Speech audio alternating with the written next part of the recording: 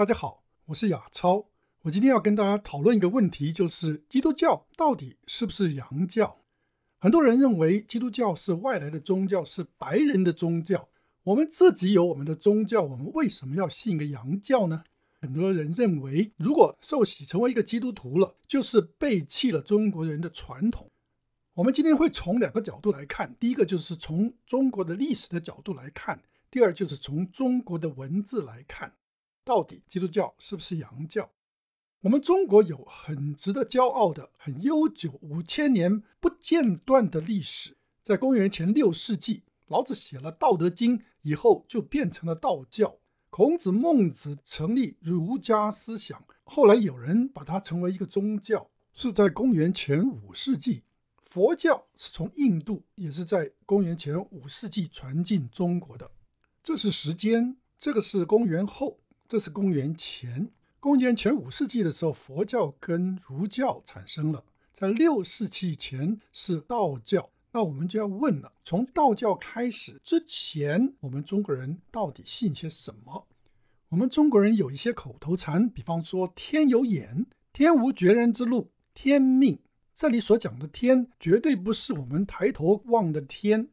我们现在就来看看洋人跟我们所说的口头禅有什么不一样。外国人讲说 “Oh my God”，那我们中国人讲“我的天哪”。外国人讲 “God only knows”，我们讲说“天晓得”。外国人讲说 “God bless America”，我们会讲说“天佑中华”。我们所说的“天”跟外国人所说的 “God” 神，还有我们中国所讲的“上帝”，这三者之间是不是有一点关系呢？我们中国有个很了不起的人，叫做司马迁，他跟汉武帝关系没搞好。结果汉武帝就把他阉了，结果他化悲愤的力量，就写了一本鼎鼎有名的《史记》。在《史记》里头记载了我们中国的老祖宗皇帝有一次在泰山祭天。今天你到泰山都可以看到这个牌子，是秦始皇的宰相李斯所写的。今天你到北京去参观，你就在这紫禁城的南边。有一个天坛的公园，这天坛的公园的面积是比紫禁城还大，所以是非常重要的地方。那么这个地方叫做环丘，就是当年祭天用的杀生的地方。这个就是黄琼宇。那最有名的就是祈年殿了。祈年殿是祭天的地方，你进到里面看不见任何偶像，只有一个牌位，叫做皇天上帝。这个地方就是皇帝在秋天举行的一个东西，叫做交际。交际对皇帝来讲是非常非常重要的。中庸那边讲社交之礼，所以是上帝也；宗庙之礼，所以视乎其先也。民乎交涉之礼，地长之义，治国其如视诸长乎？意思就是说，如果一个皇帝能够明白什么是交际，做得好的话。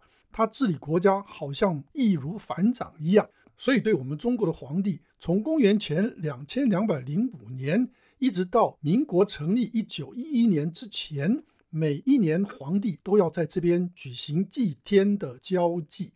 那我们中国所信的这个上帝呢，《史记》告诉我们说：“上帝者，天之别名也，神无二主。”所以，我们所信的这个天，这个上帝呢，是独一的主。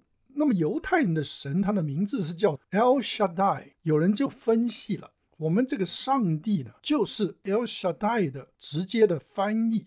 我们都知道，今天的普通话不是原来中原的话，因为五胡乱华之后，这个人都往南移，所以今天在广东、在福建、在台湾，可能讲的话是比较靠近中原以前的话。而广东话、台湾话都好，上帝就是兄弟，就是 Shaddai 是非常相似的。你说奇妙不奇妙？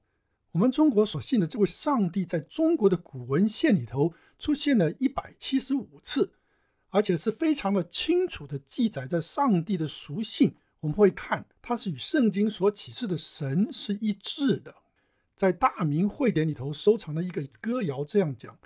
于昔洪荒之初，兮浑蒙；五行未运，兮两曜未明。其中挺立兮有无容生。神皇出于兮始判浊清。立天立地兮群物生生。这边所讲的，就是在宇宙还没有运行之前，太阳、月亮还没出来的时候，神就创造了这个宇宙，而且创造了万物。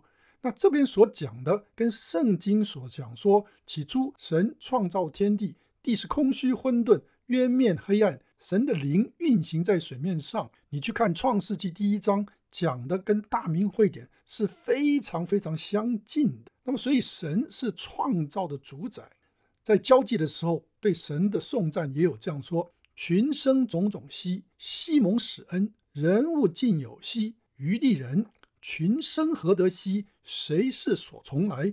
余为黄兮，亦造物之主真。”这边就讲到，这位神是创造宇宙的主宰，他的黄德无尽，陶此群生，所有的生物都是从他而来。我们中国的“天”字是这样写的。是一个大字加一个一，那这个就是在大的之上，就是说比大还要更大，所以这位天是至高的神。那甲骨文的天是这样写的，有两部分，一部分这个呢是上的意思，这个我们一看就知道是人，所以天是从天上来的人。你如果到维基百科去查上帝的话，他就会告诉你，是我们中国人夏商周以来华夏民族信仰的主宰天地宇宙的神，而我们的皇帝的叫做天子。那么除了祭天以外，上帝通常不接受祭祀的，这是我们中国人所认识的上帝。那么上帝呢，有绝对的主权。这边《诗经》里头讲：“商之孙子，其利不义。上帝既命，侯于周服。”我们都知道，商朝是被周朝所灭。这边讲商的子孙呢，其实都非常的不错。可是上帝的命令既然如此，所以就让他臣服在周朝之下。这跟圣经所讲的是一致的。圣经讲说，他改变时候日期，废王立王，将智慧赐予智慧人，将知识赐给聪明人。所以神是有绝对主权的。神不但是如此，神也是全能的。《诗经》那边讲“渺渺昊天，无不克故”，这跟圣经所讲的说“神，我岂有难成的事吗？”而且神也是无所不知的。《诗经》讲“皇以上帝临下有贺，监视四方，求民之末”。这位神是为了人的好处，所以他监视四方，他无所不知。就跟圣经讲说：“若是不然，我也必知道。”神不但是无所不知，而且他是无所不在的。《礼记》那边讲，上帝是指地命似乎久违，久违就是各方各地的意思，所以他是无所不在的神。这位上帝也是爱的上帝。上书那边讲，为天惠民，为辟奉天，所以这个上帝是有益于其他的宗教。这位上帝是充满了怜悯，所以我们中国有句话说。天无绝人之路，就是这个原因。所以这位上帝是永恒的神，他又是公义、公平、正洁的神，他也是慈悲、怜悯、恩典的神，他也是信实、智慧、美善的神。所以，我们中国人所信的这位上帝，就是跟旧约所启示的那位耶和华神是一致的。我们中国的文字是非常特别的。不是拼音文字，是象形的文字。象形文字就是用图形来显示，所以它有一个特性，就是它能够记载故事。比方说，我们中国的孟子，就是一个人躺在床上，用他的手撑着他的下巴，所以慢慢演进，就成了这样一个字了。我们中国有许多的甲骨文的文献，所以让我们知道许多我们老祖宗写的文字。如果上古有一些是人看了以后不能忘记的，应该就记录在文字里头。那么在圣经里头有两个故事是人看了就一定不会忘记。第一个就是洪水，第二个就是巴别塔的这件事。那洪水是什么时候发生呢？就是有一个人叫做马土沙拉死的时候。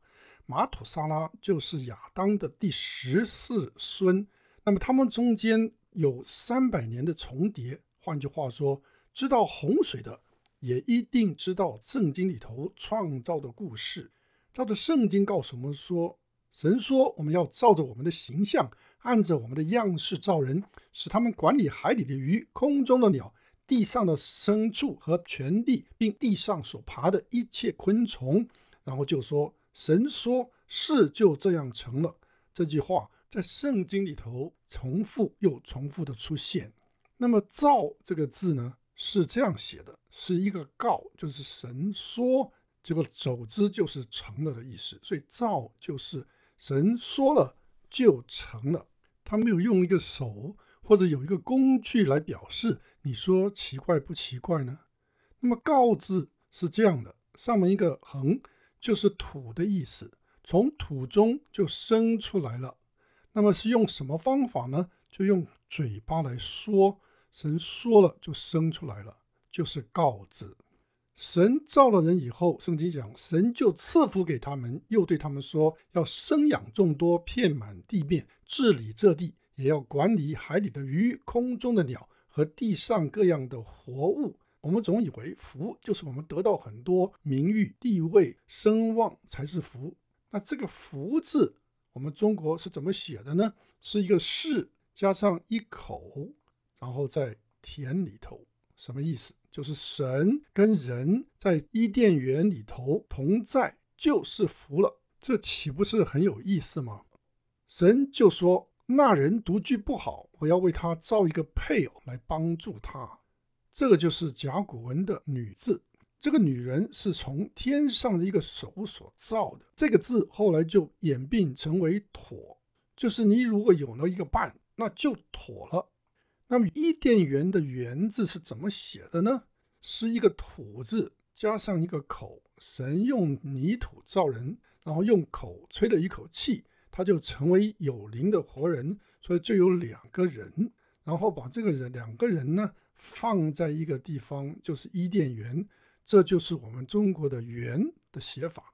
那伊甸园呢？圣经告诉我们说，有河从伊甸流出来，滋润那园，从那里分为四道，在伊甸园有四道水流。那我们中国的“田”字是怎么写的呢？就是一个田，中间有个四道。我们常常以为田是因为象形，其实田不是这个样子，田是从那个地方有四道水流出来。那么这个大家一看就知道是家了，那么它就是变成后来的宝盖头。那如果家里头放了玉，那就是宝了。可是简体的宝不如我们繁体的来的更宝，因为有玉、有古董、有珍珠才是宝。那这个房子里头如果有两个口字，这个就是公字了。那可是我们知道宝盖头下面有两个口字的，还有官字也是两个口。而这个“公”字不同的，就是这个两个口啊是结在一起的。圣经告诉我们说，因此人要离开父母，与妻子联合，二人成为一体。两个人成为一体，这才是你的家，是你的宫。那么这个房子里头，如果放上这一个，这个是“妻”字，这个字以后就演进成为“宅”字。那我们知道，今天有宅男宅女。为什么是宅男宅女呢？因为他们不太喜欢出去，他喜欢在家里玩电动玩具，喜欢上网。那么，所以这个七为什么不用个六，不用个八呢？因为圣经告诉我们说，到了第七日，神造物的功已经完毕，就在第七日歇了他一切的功，安息了。神赐福给第七日成为圣日，因为在这日，神歇了一切创造之功，就安息了。所以神给人要安息。那个年代，人都要出去种地，要去打猎，可是神却设定一天要待在家里。这个就记载在我们中国的文字里。你说奇妙不奇妙？如果房子里头有一个“是”字，就是神的意思，那这就是最正宗的宗教了。当神造了人之后，就在伊甸园里头放了两棵树，一个叫做生命树，一个叫做分别善恶树。那么这个就是木字，就是树的意思。其中有一棵树呢是会发光的。那么这个字呢，后来就演变成这个熟字，就是给人生命的树。那么神就吩咐亚当夏娃说：“园中各样树上的果子你都可以随意吃，只是分别善恶树的果子你不可以吃，因为你吃的日子必定死。”神造人的时候给他有极大的自由，但是因为他是被造的，所以就必须有个限制。所以神禁止他吃这个分别善恶树的果子。那禁止是怎么写的呢？就是在这两个树之前，神告诉他们，这就是禁字。这个禁字就把这件事情记录下来了。结果圣经告诉我们说，耶和华神所造的，唯有蛇比田野一切的活物更狡猾。蛇对女人说：“神岂是真说不许你们吃园中所有的树上的果子吗？”这个时候，有条蛇。在最后一本圣经启示录就启示了魔鬼就是古蛇，就是这条蛇，魔鬼来试探人。鬼字我们中国是怎么写的呢？就是在田里，就是这个伊甸园里头有一件事情发生了，有一个人做了一件暗地里做的事情，那么这就是鬼字了。那鬼到了什么地方呢？到了两棵树的前面，就做了这一件不可告人的事。那这就是我们中国的魔字。圣经讲说，于是女人见那棵树的果子好做食物，也悦人眼目，且是可喜爱的，能使人有智慧，就摘下果子来吃了，又给她丈夫，她丈夫也吃了。所以夏娃因为贪婪，所以就吃了这个果子。那贪婪的婪是怎么写的呢？就是在两棵树前面，这个女的就贪婪了，因此人就坠入了最终。那这个罪字呢？原来是这样写的，一个字，一个心字的心。到后来秦始皇因为看这个字有点像的皇字，就把它改成是非这个罪字。但是原来是字心的这个字。当我们看到心的时候，就是一个人堕落的，把一个人倒着来写。而叛逆的逆也是一个人倒着写，上面一个是个名词，下面是一个动词。人犯了罪。也记录在我们的文字里头。人吃了果子之后，两人的眼睛就明亮了，才知道自己是赤身露体，便拿无花果树的叶子为自己编做裙子。人就看见自己是没有穿衣服，就开始有了愧疚感。那裸体的裸字是什么写的呢？就是人把无花果树的叶子来做裙子，拿来当做衣服，所以这个就是中国的裸字。人有了愧疚感之后。就开始躲起来。那“躲”字呢，又有这样的写法，就是身难木。他的身体看上去就像木头，所以他是躲在树后面。而这个惭愧的“愧”字呢，就是这个人心里有鬼了，就是愧了。有一棵树会使人贪婪，有手的结果有两个口，就是两个人。圣经讲说，耶和华神吩咐他们说：“园中各样树上的果子，你们都可以随意吃。”只是呢分别善恶树的果子你不可以吃，因为你吃的日子必定死。那这个字呢，后来就演化成为丧命的丧字。这两个人就在这个分别善恶树之前就丧了命了。这是甲骨文的人字，人后来走了神相反的方向，再加上引蛇上身，这人就犯罪。这件事是非常可惜的，所以这个字就演化成为吊字。人犯了罪就很辛苦，要汗流满面才能糊口，就是有苦楚。而这个“楚”字是怎么写的呢？“楚”就是这个人在两棵树的试验下，他就停止了，他就受了痛苦。人应该怎么样呢？应该到那个生命树那里，这就是“修”字了。所以神要我们有安息，神要我们在他里头有安息。人犯了罪之后，就被神赶出伊甸园，就发生了人类的第一个凶杀案。亚当夏娃生了两个儿子，哥哥叫做该隐，把弟弟亚伯给杀了。那么神就要赶逐他出去。那么该隐就求神说：“那如果我被赶出去，别人就会把我杀了。”这个圣经讲，耶和华对他说：“凡杀该隐的，必遭报七倍。”耶和华就给该隐立了一个记号。免得人遇见他就杀他。那这个凶杀这个凶字是怎么写的呢？就是凶哥哥的头上画了一个记号，这就是我们中国的凶字。你说奇不奇怪？所以旧约里头所说的创造，全部都记录在我们中国的文字里了。接着圣经也讲到洪水，神要挪亚做一个方舟，结果到了洪水快来的时候，他就让他的三个儿子、媳妇，加上他跟他的妻子，总共八个人都进了方舟。而我们中国的船字就是一个舟，上面有八个人，你说奇妙不奇妙？接着是巴别塔，巴别塔是什么一回事呢？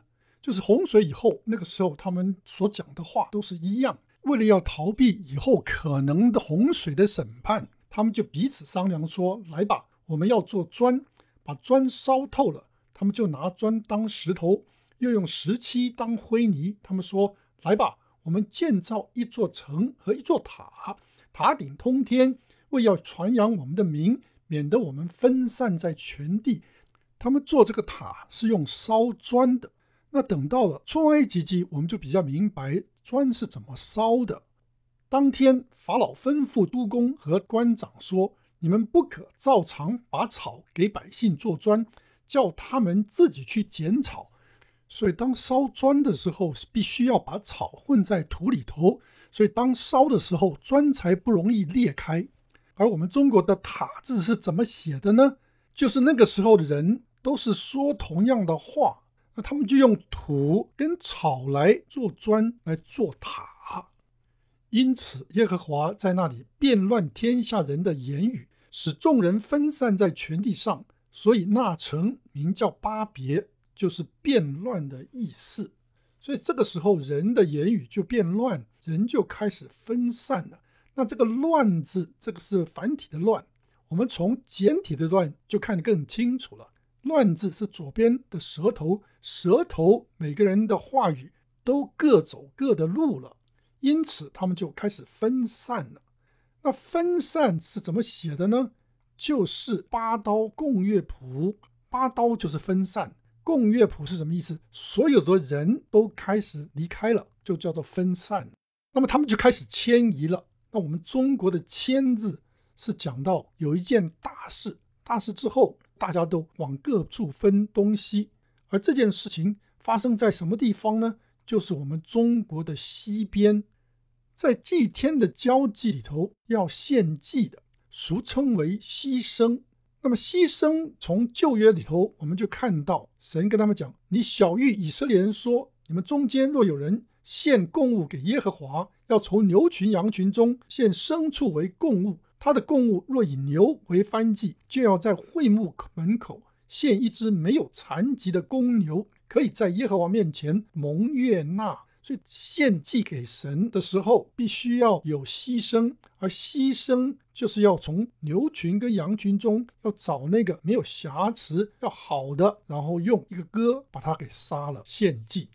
如果要献羊羔的话，有这样的规定：一岁的公羊羔七只。做火祭献给耶和华为馨香的祭物，这个羊羔是把羊烧在火上，所以就是这样一个字。所以我们的中国的羔羊的羔是跟翻祭是有关系的。它不但献羊羔的时候有规定要把血洒在祭坛上，摩西将血一半盛在盘中。